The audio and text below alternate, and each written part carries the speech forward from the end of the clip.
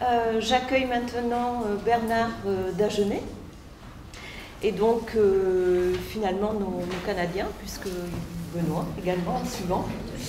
Voilà, donc Bernard Dagenet, pour respecter les usages mais rester sincère, je peux vous dire que c'est un honneur et une joie conjuguée de vous compter parmi nous aujourd'hui. Bernard Dagenet, vous êtes professeur au département information et communication de l'Université Laval au Québec.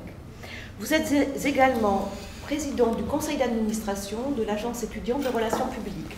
Vous présentez Bernard Dagenet reste une gageure au vu de la densité de votre parcours lié à votre double positionnement de chercheur et d'acteur. Car si vous vous consacrez d'abord à la recherche en préparant un doctorat sous la direction d'Edgar Morin, vous vous distinguez également comme professionnel des relations publiques, après avoir goûté au journalisme, occupé divers postes dans la fonction publique québécoise, notamment en tant que directeur de communication de ministère, euh, mais également en tant que maire du charmant village de Sainte-Pétronille. voilà. Donc, pétri de parcours euh, institutionnels variés, vous êtes à l'image des sciences de l'information et de la communication, nourri de multiples disciplines et toujours en évolution. Les stratégies de communication institutionnelle sont votre domaine de prédilection. Aux presses de l'Université de Laval, la publicité, le métier de relationniste, euh, le communiqué, euh, quoi d'autre, la conférence de presse, le plan de communication feront date. D'ailleurs, euh, nous étudions le, le au quotidien. dans un tout autre registre, vous publiez L'éloge de la violence, ouvrage où la question de la violence si présente aujourd'hui euh, est abordée sous l'angle de sa représentation dans les mentalités. Inscrit parmi les pionniers de la revue Communication et Organisation, vous participez avec euh, vos collègues québécois à l'aventure collective dès les premiers numéros, euh, consacrés au changement organisationnel, mais également à la communication locale ou à l'hommage à Robert Escarpite. Fidèle collaborateur de la revue, vos interventions ne cessent d'accompagner son histoire, aussi bien comme auteur que comme membre du comité scientifique ou membre du comité éditorial. Euh, votre communication s'intitule Le mensonge dans la sphère publique. C'est à vous, Bernard Dagenet, pour 20 euh, minutes. Alors, merci pour ces mots. Euh, je suis venu à d'ici il y a peut-être 25 ans. Je suis revenu à quelques reprises depuis. Et je suis heureux de participer à ce colloque qui nous a demandé de faire le point sur nos chantiers de recherche. Et je m'intéresse au mensonge comme une qualité formidable dans la vie quotidienne et dans la vie institutionnelle. Il y a une école de pensée en communication qui veut qu'une bonne stratégie de communication institutionnelle, une bonne stratégie de communication de risque, une excellente stratégie de communication de crise repose sur deux éléments, l'ouverture et la transparence. Thierry Desbartes a écrit a quelques années un magnifique petit livre qui s'appelle La transparence en trompe-l'œil, dans lequel il dit La transparence, c'est l'élément le plus suicidaire qu'un individu, qu'une entreprise puisse emprunter, puisque si vous êtes transparent, vous prêtez le flanc à vos adversaires vous êtes sûr que tout ce que vous allez dire qui est vrai sera utilisé contre vous. Dès lors, si la transparence n'est plus de mise, je peux dire que la porte, ouverte, la porte est ouverte à tous les dérapages face à la vérité. Et c'est le propos de mon intervention, la magie du mensonge. Alors, d'une part, je voudrais vous situer un petit peu vous disant que le mensonge existe partout. Euh, c'est l'élément tout à fait particulier je n'ai pas envie de, de nous montrer qu'actuellement le mensonge est plus développé qu'autrefois, puisque le mensonge existe partout. Tout le monde ne ment pas, il y a toujours quelqu'un qui ment, et celui qui ment a habituellement plus de chance que les autres dans une société. Bon, depuis la nuit des temps, juste quelques repères. Euh, tout côté mi-fili, euh, c'est quand même le père qui trompe son fils. Euh, on comprend que dans les grands du monde, dans une famille royale, ce fut une tradition de s'occuper de ses proches que l'on n'aimait pas trop. Imaginez-vous, lorsque nous sommes dans un univers où on n'est pas en famille, mais on est entre ennemis, le mensonge, la tromperie et également toutes les subversions que l'on peut utiliser sont de mise. Machiavel a écrit Prince, qui est quand même formidable. C'est un traité de tromperie élevé au rang de savoir-faire de base en politique. Évidemment, on est tout à fait de ça.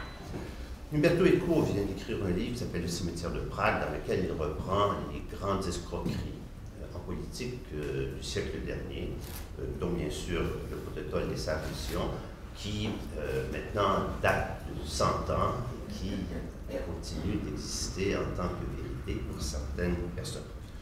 Un petit mot sur euh, le film d'Orson Welles, Vérité mensonge. Euh, il a repris euh, dans ce film les grandes escroqueries du siècle. Et ce qui est intéressant dans son film, c'est qu'il a commencé le film en disant pendant les 75 prochaines minutes, je vous dirai la vérité sur toutes les escroqueries qui s'est passées au cours du siècle dernier. Et il est revenu à la fin du film au cours des 60 premières minutes, 75 premières minutes de ce film, vous avez assisté aux escroqueries du début du siècle, du début du siècle. Cependant, le film n'a pas duré 75 minutes, il a duré 90 minutes, et pendant les 15 dernières minutes, c'est une escroquerie que vous avez été appelé à voir étant une vérité. Donc, le mensonge euh, est rentable euh, d'une certaine façon, puisque le menteur réussit imposer une façon de voir à partir de laquelle on va organiser son savoir-faire. Euh, je veux simplement vous dire qu'aujourd'hui, le mensonge est une activité qu'on pourrait appeler quotidienne. Bon, je vous donne quelques exemples. Euh, sur le plan politique, euh, il est de mise d'agir tout à fait contraire à ses principes. Donc, on énonce les principes, on peut faire tout à fait ce que l'on veut si je prends simplement la notion de démocratie qui devrait nous rallier sur le plan politique, le monde politique euh, a quelques travers. Je vous donne quelques exemples. Al Gore s'est fait voler ses élections par Jean Bush. Jean Tibéry, Alain Juppé et Jacques Chirac ont été accusés de tricher. Chaque candidat dans toutes les élections africaines qui perd ou qui gagne a gagné et l'autre a triché. Euh, ce que j'ai vu dernièrement, Jean-François Copé et François Fillon au congrès du MP ont eu quelques problèmes avec la véracité des votes. Et je terminerai avec un petit exemple euh, du québécois. Lorsqu'on a demandé au maire drapeau, le maire lors des Jeux Olympiques de Montréal, si euh, les Jeux auraient un déficit, il a répondu les Jeux Olympiques de Montréal n'auront pas de déficit pour qu'un homme porte un enfant. Les Montréalais ont payé pris 25 ans avant de rembourser euh, la dette. Un petit mot sur ce que j'appelle l'astrosurfing euh, dans le domaine politique. L'astrosurfing est une notion nord-américaine qui a rapport à l'astrosurf. L'astrosurf est une, une, substance synthétique que l'on utilise pour faire des terrains de foot, des terrains de compétition, donc c'est un gazon artificiel. Alors ce gazon artificiel, a toutes les qualités du vrai gazon et aucun défaut du vrai gazon. Donc c'est un gazon plus vrai que le vrai gazon. Et l'astrosurfing, c'est l'utilisation apportée pour dire que le politicien aux États-Unis, tout ce qu'il dit, c'est tellement vrai, même si c'est faux, que finalement on le finit par l'utiliser comme du vrai. Je voudrais vous rappeler euh, l'existence euh, aux États-Unis d'un groupe qui s'appelle Center for Media Democracy. Euh, c'est un site qui chaque semaine nous montre les mensonges du monde politique, c'est à pleurer de voir que chaque jour, ce que l'on entend comme vérité est mensonger. Je vous cite les cas de Elliot Spitzer, gouverneur de l'État de New York, que vous ne connaissez probablement pas, grand prêtre euh, du politically correct, grand batailleur contre la corruption et la prostitution, est obligé de démissionner pour avoir été pris dans un réseau de prostitution pour lequel il aurait payé 80 000 dollars au cours des dix dernières années. Alors, donc, c'est pas euh, nature tout à fait particulière. sur le plan économique, euh, euh, les organisations se dotent euh, de codes d'éthique, de gouvernance, de bonne conduite. Et simplement, pour montrer comment ça se passe, Enron, qui a fait une faillite frauduleuse de 50 milliards de dollars, avec un code d'éthique de 60 pages. Donc finalement, le discours sur la réalité est encore plus fort que euh, la, réalité particulière. Je voudrais quand même vous donner quelques exemples sur le plan économique euh, où, depuis 1914, euh, avec Rockefeller, on a développé une philosophie qui veut que les grands de ce monde, les riches, donnent un peu à la société sur le, sur le plan social, culturel, sur le plan développement durable, ce qu'ils ont acquis en travaillant fort, disent-ils. Alors, je vous donne quelques exemples parallèlement à cet élément de responsabilité sociale, ce qu'on appelle l'éco-blanchiment, qui est le greenwashing. Euh, je vous donne simplement un petit exemple canadien. Lorsqu'on a commencé à faire du papier recyclé, le papier recyclé coûtait plus cher que le papier traditionnel. Alors, ce qu'on a fait, c'est qu'on a pris du papier traditionnel, on a imprimé dessus le tampon du cercle avec les pour montrer que c'était recyclé. Et il a fallu une réglementation pour empêcher que le recyclage et que le développement durable soient usurpés.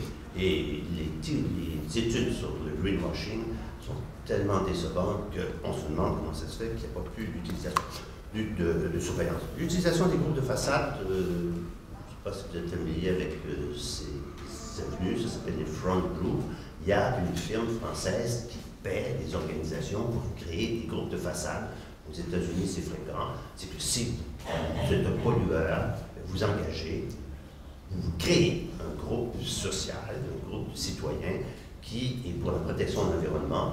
Et la protection de l'environnement, pour eux, ça veut dire qu'on revoit ce, que l'on coupe, mais on coupe quand même. Euh, et donc, tout un discours tourne autour du fait que l'on contredit ce que l'on fait avec un groupe de façade qui est extraordinaire. je vous donne simplement les sables bitumineux en Amérique du Nord. Euh, c'est la pire cochonnerie, la pire crise écologique que l'on voit, c'était condamné partout.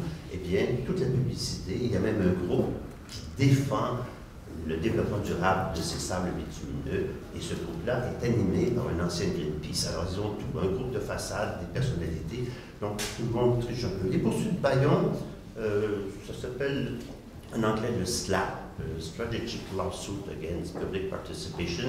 C'est simple, dès qu'un groupe de citoyens respecte contre les abus d'une grande société. La grande société les poursuit pour diffamation pour des millions de dollars. Et comme ils ne peuvent pas se défendre, il faut une entente à l'amiable. On paie vos frais d'avocat, ils vont vous décès. donc, ça s'appelle les poursuites baillons. C'est que dès que quelqu'un veut dire que les autres banques, se font accuser de diffamation. Donc, tout ça est bien organisé pour que dans le monde économique, ce que l'on voit, ce n'est pas toujours sur le plan culturel, euh, je vous donne euh, quelques exemples. Euh, vous connaissez probablement, euh, PPDA a écrit un livre sur Hemingway récemment et on a appris que presque une centaine de pages avaient été copiées d'un auteur qui n'apparaissait pas dans la table des, des références. Donc, et vous avez suivi ça, PPDA a dit c'est dommage, c'est pas la bonne version qui est sortie sous presse, et la mauvaise version était quand même sous presse au moment où c'est sorti.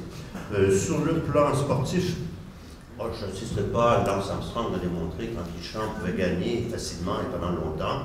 Et j'apprends dernièrement que c'est un système de trucage de match de football. Mais sur le plan religieux, euh, aucune religion n'arrive à concilier ces messages de paix avec ce fanatisme religieux, meurtrier. Et il n'y a pas que les guerres de religion. Je vous rappelle qu'aux États-Unis, les groupes pro-vie assassinent les médecins pro-choix et vandalise les cliniques, d'avortement. Euh, un petit mot sur la sexualité chez les religieux.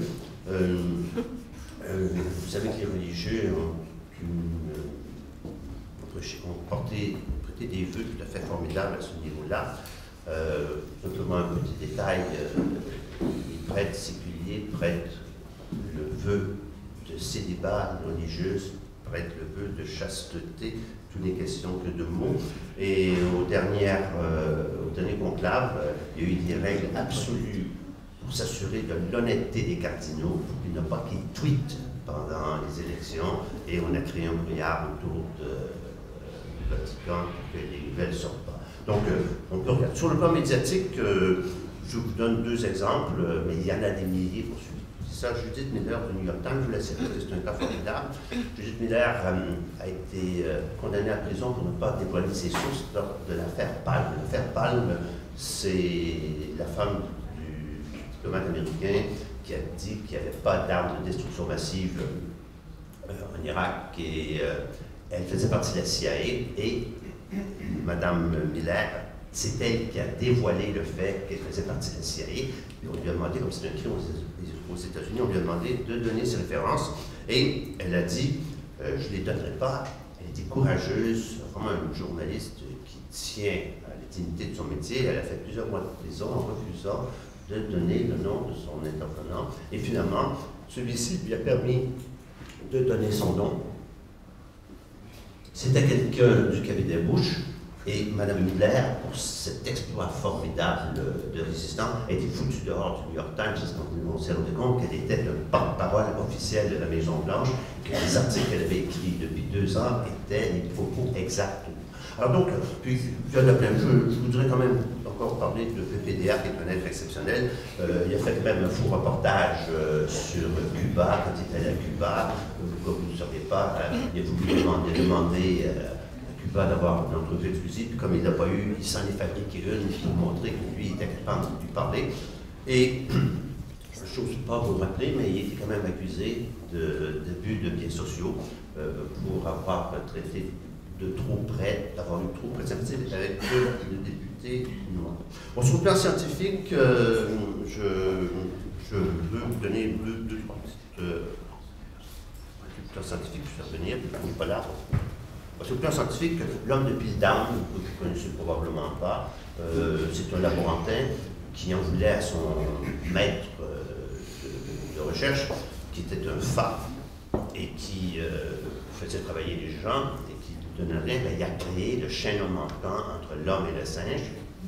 Et son, son, son tutélaire, de la chair, pendant 25 ans, il était l'homme heureux qui a découvert euh, l'homme de Pildan. Quand le laborantin est mort, on a découvert tout le montage qu'il avait, donc c'est un faux absolu. Et je vous rappelle qu'aux États-Unis, maintenant, on n'accepte plus dans les revues scientifiques aucun article qui est financé par des compagnies pharmaceutiques et par l'État, parce que maintenant on s'est rendu compte que toutes les grandes études sont financées par les pétrolières, les donc tout ça, c'est vous. Euh, sur le plan juridique, petit mot que le monde juridique recherche la vérité en semant le doute et la confusion. Et je ne donne pas trop d'exemples, mais ils sont prêts à condamner un innocent pour sauver un coupable. Et sur le plan alimentaire, je vais assez vite parce que je l'ai pas laissé. Mais je voudrais quand même rappeler deux choses sur le plan alimentaire. C'est que actuellement, on nous empoisonne avec toutes sortes d'aliments. On le sait quand on lit les, les littératures scientifiques on ne le sait pas quand on le consomme. Je vous donne l'exemple simplement du saumon, eh bien, 90% du saumon que l'on mange est élevé dans les conditions que vous lisez. Dans quelles conditions ça? Vous n'en mangeriez jamais. Seul le saumon du Pacifique est sauvage, tous les autres sont des saumons, des saumons d'élevage. Je ne vous parle pas du Pegasus, ni de la pièce, ni des crevettes. Alors donc finalement, on est dans un monde qui... Donc, genre, je voudrais vous dire un petit mot sur la vérité et le mensonge euh, pour... Euh, je vais aller assez vite sur les concepts. Alors, comment définir la vérité et le mensonge? Ben, La vérité théologique n'est pas la même chose que la vérité philosophique et que la vérité politique.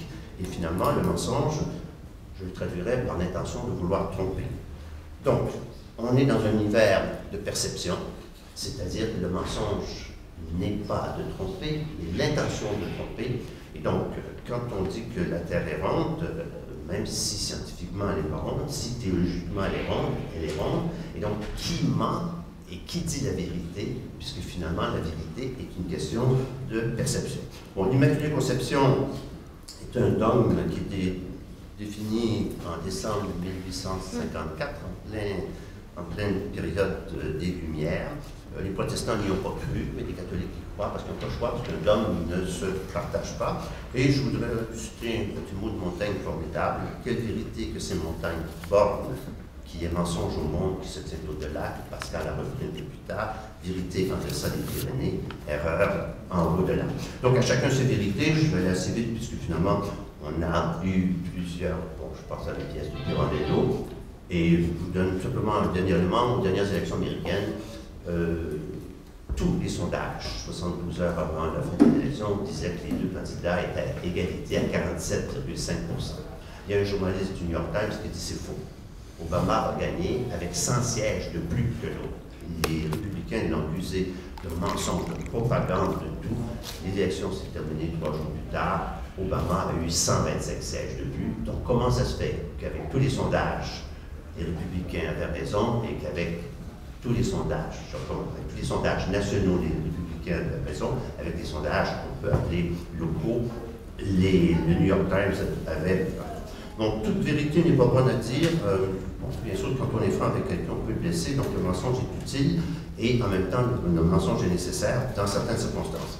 Euh, je vais aller plus vite pour euh, simplement donner regarder tout ça. Réalité constructiviste, c'est que l'univers est un univers qui est un choix de mots et que les choix de mots sont des mots construits. Bon, je vous donne l'exemple au Québec. Euh, quand j'ai fait mes études, il y avait des sauvages qui peuplaient le Canada avant que nous arrivions. Euh, dix ans après, quand je suis passé au secondaire, euh, les sauvages étaient devenus les Indiens. Et quand je suis passé au collégial, les Indiens étaient devenus les Amérindiens. Et quand je suis passé à mes premières années d'études, les Amérindiens étaient devenus les Autochtones. Puis aujourd'hui, les Autochtones s'appellent les Premières Nations, c'est toujours le même monde. Mais donc, le, choix des mots, et finalement, ce que j'appelle euh, le sens des mots, euh, nous amène à penser qu'on construit toujours. Bon, il n'est pas de serpent ni de monstre Dieu qui par la vérité ne puisse plaire aux yeux, c'est-à-dire qu'on peut faire dire n'importe quoi quand on choisit les bons mots euh, pour, pour le faire. Je continue la réelle et, sa représentation. Eh bien, c'est bien connu que finalement la représentation du réel, elle est construite de façon euh, absolue. Et l'exemple de la bon, la perception de la réalité, donc ce serait peut-être un élément que je veux vous donner.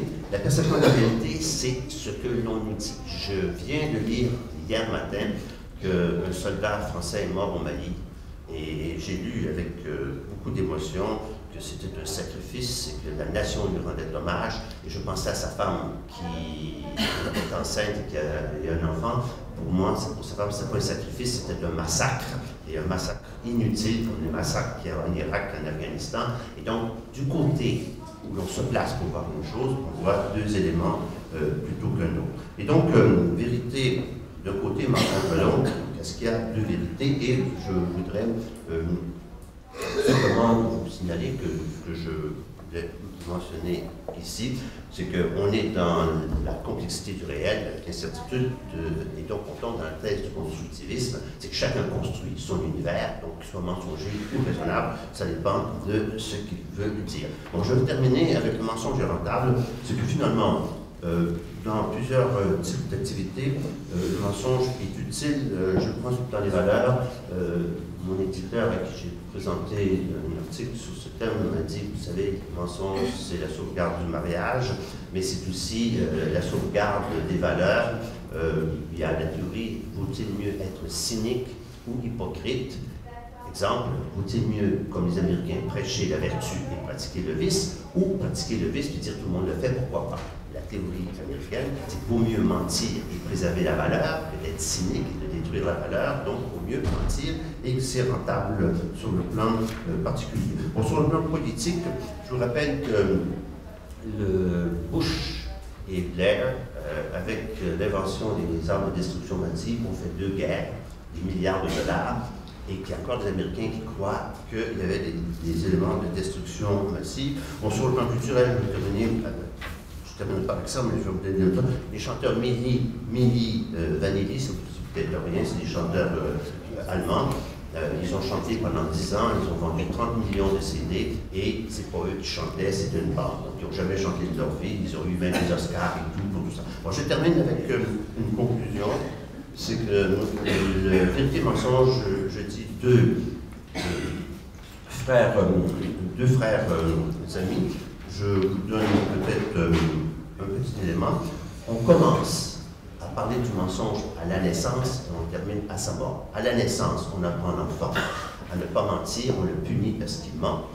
et on essaie de lui apprendre la vérité. Mais en même temps, par la politesse, on lui apprend le mensonge, on ne lui dit pas le monsieur est trop gros, tu ne dis pas la madame tu ne l'aimes pas, et tu ne dis pas ta tante tu ne l'aimes pas, donc on lui apprend le mensonge. Et on apprend aujourd'hui que l'enfant qui n'apprend pas à mentir perd une partie de son autonomie, parce que le jour où il comprend que mentir et que le mensonge marche, c'est que ses parents ne savent pas lire dans sa pensée, donc il peut construire un univers qui n'est pas celui de ses parents, et donc c'est son émancipation.